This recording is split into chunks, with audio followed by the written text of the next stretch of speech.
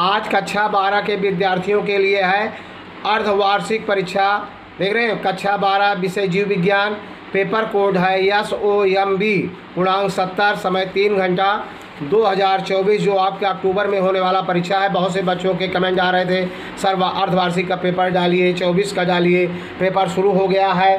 कई कोर्ट के पेपर आपको मिलेंगे, प्लेन बिना कोर्ट का मिलेगा, बाजारू पेपर मिलेगा समझ रहे हैं? बहुत पेपर आपको मिलेंगे। इसके लिए सिर्फ़ आपको अधिक से अधिक वीडियो को शेयर करना है। अपने सगे संबंधी रिलेटिव, इष्ट मित्र से चैनल को सब्सक्राइब करवाना है, ताकि आपको कम से कम दस दस सेट में पेपर मिले। अभी या सेट वन पेपर है। देख रहे हैं ना, सेट वन शुरू हो गया है। पूरा का पूरा वीडियो देखेंगे, स्किप नहीं करेंगे। समझ रहे हैं ना? पहला क्वेश्चन है जीव विज्ञान का। सही विकल्प छाजकार अपनी उत्तर पुस्तिका में लिखिए। आग अगुणित कोशिका है, चार विकल्प है जो सही होंगे लिखेंगे। दूसरा, निम्नलिखित में से किसका उद्भव भ्रूणीय मीसोडर्स से होता है? मस्तिष्क, फेफड़ा, रुधिर या कृत? देख रहे ना?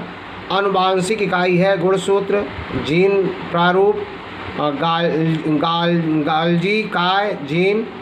निम्न में से कौन सा जीवाणु जनित रोग है?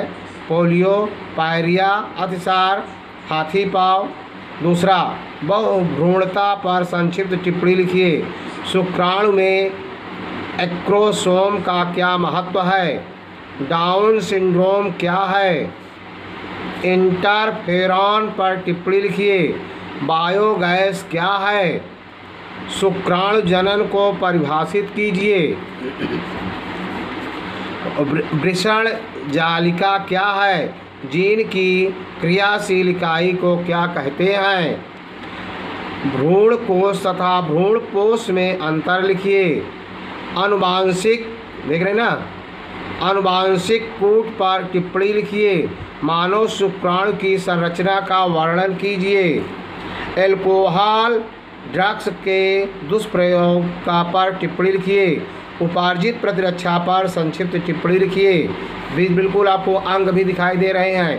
देख रहे हैं ना, बिल्कुल छोड़ना नहीं है एक क्वेश्चन अधिक से अधिक शेयर करना है। स्किप नहीं करना है वीडियो को पूरा देखना है। देख रहे हैं ना एक भी स्किप नहीं करना है। चौथा, पाँचवा क्वेश्चन है, उपार्जित प्रतिरक्षा पर संक्षिप्त टिप्पणी लिखिए। डीएनए तथा आरएनए में अंतर लिखिए। साहस तथा उपार्जित प्रतिरक्षा में अंतर लिखिए हार्मोन युक्त गर्भ निरोधकों की क्रियाविधि तथा लाभ व हानि बताएँ। अनुवांशिक कूट पर टिप्पणी लिखिए। लिंग सहलग्न लक्षण क्या है? मनुष्य में ऐसे दो लक्षणों की वंशागत को संक्षेप में लिखिए। भारत में परिवार नियोजन की आवश्यकता तथा इसकी विधियों का वर्णन कीजिए अथवा मादा जनन तंत्र का सचित्र वर्णन कीजिए। आवृत बीजी पौधों में निषेचन क्रिया का सचित्र वर्णन कीजिए। जीवाणुओं के आर्थिक महत्व का वर्णन कीजिए। देख रहे हैं ना, बिल्कुल आपको पूरा का पूरा पेपर दिखाई दे रहा है। सत्तर का पूर्णांक, बिल्कुल देख रहे हैं ना, वीडियो को पूरा देखना, स्किप नहीं करना है। यदि आपको वीडियो अच्छा लगा हो तो लाइक करना साथ साथ शेयर करना नहीं भूलेंगे। ज़रूर अधिक से अधिक शेयर करेंगे, लाइक करेंगे जय हिंद जय भारत।